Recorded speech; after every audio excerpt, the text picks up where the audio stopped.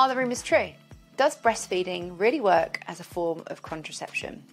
Welcome back to Butterbean, the mother of all guides. I'm Lucy, I'm a mum of two, an antenatal teacher specialising in birth and infant feeding, and the founder of Butterbean.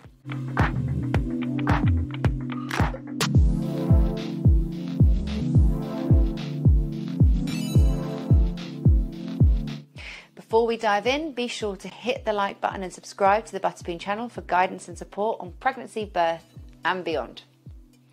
Now, you might have been told by a friend or an online forum that breastfeeding is a form of contraception, and you might be surprised to find out that yes, it's true.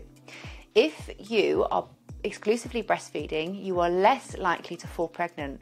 Breastfeeding takes about six to eight weeks to become established. If you haven't introduced any formula after this time, if your baby is only having breast milk and you are feeding on demand and not against a schedule, then your periods will probably not start until you start to drop feeds, which is usually when your baby starts being weaned.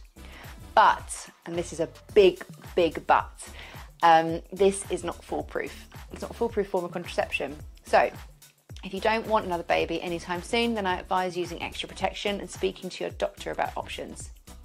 To become part of the Butterbean community, head over to our website, which is linked below.